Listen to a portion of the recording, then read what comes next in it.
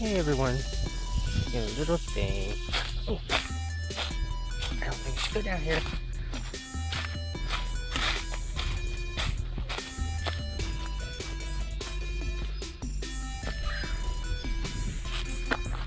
Not sure if you can see it, but there's a fence that goes all the way right over there. Over there, there's like a little miniature zoo. Earlier, I heard a bunch of monkeys and shit going crazy over there. I never knew there was something over there like that.